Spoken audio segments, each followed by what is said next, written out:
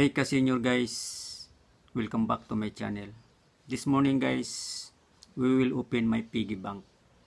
A 3 month old piggy bank guys.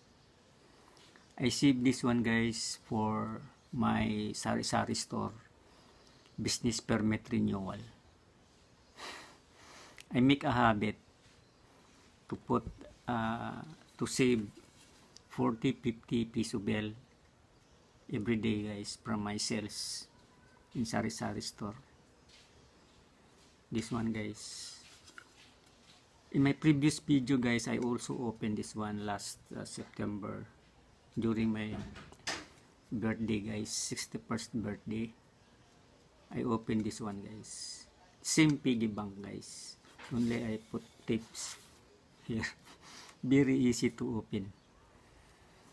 Guys uh, ka-senior my reason guys why I save guys is this. The importance of savings is not the worth of money how much you save but the attitude the habit how to save guys even a single centavo.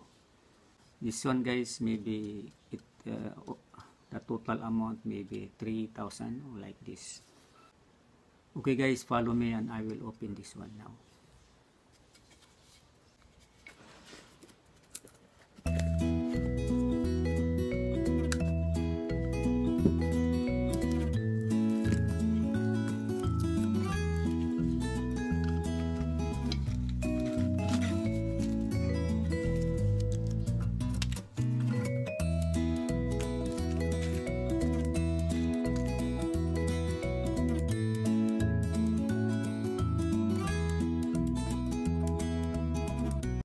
Here guys.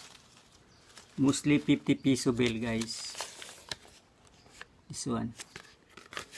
Mostly guys. There is also 100 piso bill. This one. Maybe this one two days. I I put this one because there is no change maybe for two days because every day I I save 50 guys 50 piso bill so all this one guys. We will account this one guys. How much all. And this one now I will again I will again close this one guys today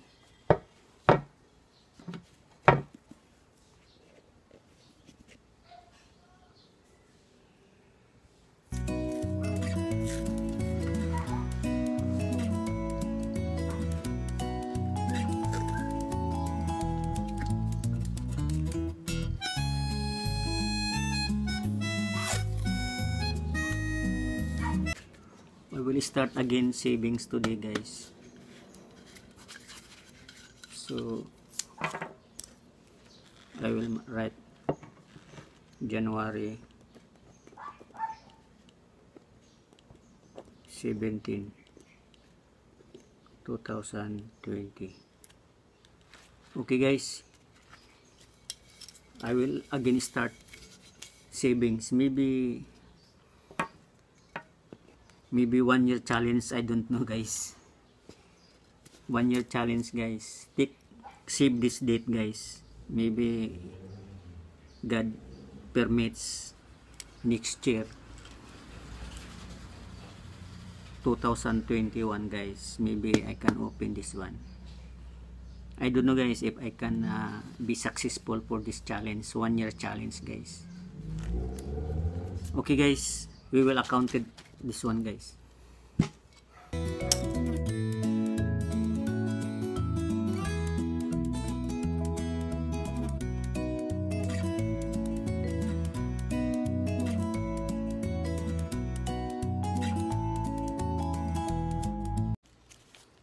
Here guys my savings guys. The total savings guys is 4150 guys. We have uh, 1020 peso bills.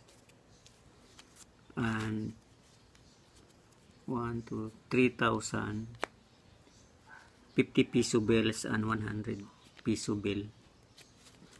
This one guys 150 so the total is 4,150 guys.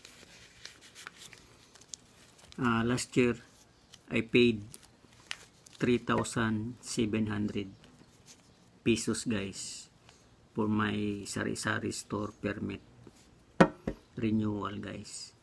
So I have here 4,150 so I have an extra maybe for lunch for lunch in Greenwich with this with senior citizen discount guys. So guys once and for all uh, the importance of savings is not the worth of money but the attitude and habit how to save.